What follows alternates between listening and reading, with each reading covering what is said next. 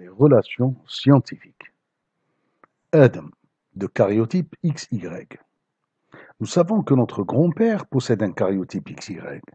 Un homme, relation directe avec notre existence, avec la présence du caractère Y qui détermine le sexe.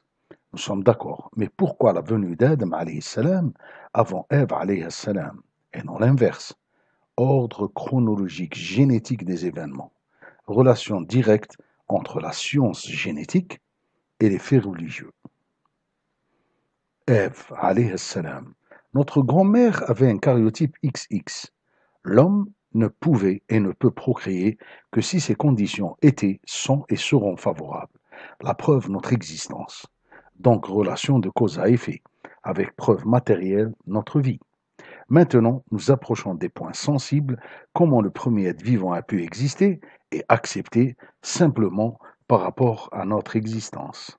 Ce sujet a déjà été traité et que nous trouvons rien à dire vu que le cycle de la vie continue, et parfois nous préférons éviter ce sujet, sinon nous mettons en doute notre histoire sur les différents plans et surtout religieux. Voyez ce que je veux dire par là Le deuxième être vivant ne peut provenir que du premier être qui, lui, renferme les deux cariotypes, donc pouvant transmettre deux fois le même caractère en dupliquant le même cariotype deux fois, par division cellulaire, une mitose. Et ceci montre la preuve même de l'ordre de l'existence d'Adam avant Ève et non l'inverse, un ordre génétique. Et nous pouvons dire que le deuxième être vivant est identique au premier sur le plan génétique, la seule différence, le caractère sexuel, logique. En revenant à notre époque, notre existence, nous constatons que nous sommes incapables de donner une réponse valable seulement, on repose sur une preuve, l'homme est là, vivant, surpeuplant la Terre. C'est une preuve indiscutable et que, sur le plan scientifique, nous pouvons donner une explication d'actualité. Le clonage, Ève salam, créé à partir d'une côte de son flanc gauche ou alors de sa côte, selon les récits. Un clonage, mais beaucoup plus précis, clonage avec différenciation sexuelle et manipulation génétique, dédoublement de X à cette époque. D'où l'explication de l'ordre logique de l'existence d'Adam avant Ève salam et nous ne pouvons qu'accepter cette hypothèse, car elle est très logique par rapport à l'ordre de notre existence et ordre historique, et que l'homme doit admettre ce principe très lié à son existence, et de là découlent les autres explications qui sont dans l'ordre chronologique des événements génétiques. Nous arrivons au troisième être vivant, qui lui renfermant le caractère génétique plus précisément un cariotype XY, mais par contre lui issu d'un être vivant humain renfermant le caractère XX, mais n'ayant pas le caractère sexuel déterminant, et pourtant l'être vivant a bien existé, suite à un accouchement par voie basse, décrit dans les récits monothéistes. Nous allons aborder une explication génétique qui pourra nous aider à expliquer ce mécanisme, mais avant cela, j'attire votre attention par un verset coranique. Dieu dit, Subhanahu wa ta'ala, ba'da billahi min rajim, bismillah rahman rahim فاقم وجهك للدين حنيفا فطرة الله التي فطر الناس عليها لا تبديل لخلق الله ذلك الدين القيم ولكن أكثر الناس لا يعلمون صدق الله العظيم J'explique, verset 30 de Surat Ar-Rum, dirige tout ton être vers la religion exclusivement pour Allah. Telle est la nature qu'Allah a originalement donnée aux hommes. Pas de changement à la création d'Allah. Voilà la religion de droiture, mais la plupart des gens ne savent pas. Tout est basé sur des lois scientifiques, sans aucun changement jusqu'au jugement dernier. Les réflexions et les théories données de cette recherche ne sont là que pour donner un éveil et une ouverture à la science. Nous sommes en 2018 et l'être humain veut conserver encore des utopies qui sortent de l'imaginaire.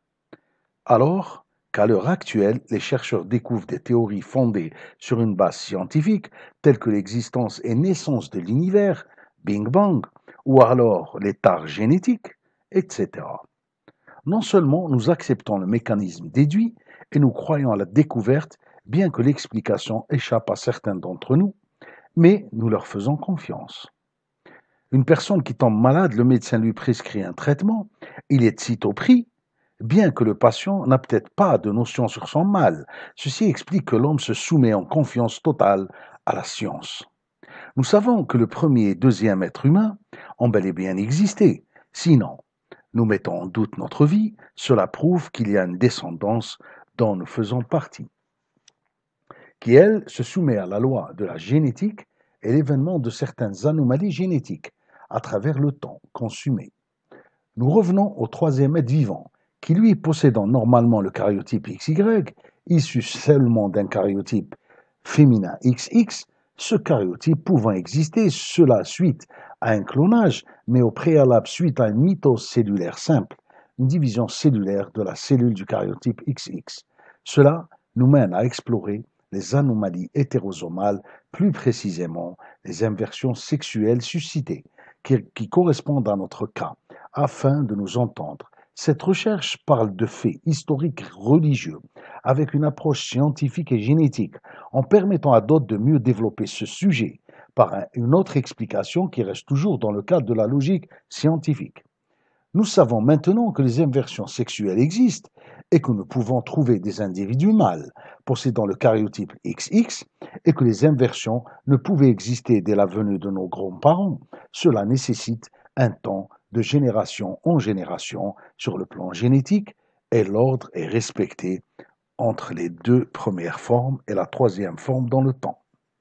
Et nous avons vu, dans le cas des inversions sexuelles, l'existence du karyotype XX mâle, une naissance sur 20 000, et cela correspond bien à notre cas, car il s'agit d'un mâle XX masculin d'une constitution et morphologie normale, plus court de taille que la moyenne, mais stérile.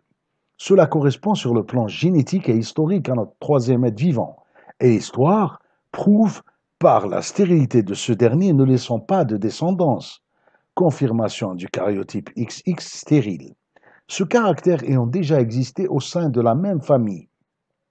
Pour confirmer le caractère génétique du troisième être vivant, et ceci est tiré d'un travail de recherche, de faits énoncés dans les livres religieux, par la naissance de Jean-Baptiste, Yahya salam, le pur, le chaste et stérile, qui est le cousin de la Sainte Marie, Maryam salam, qui elle-même était chaste, un caractère familial.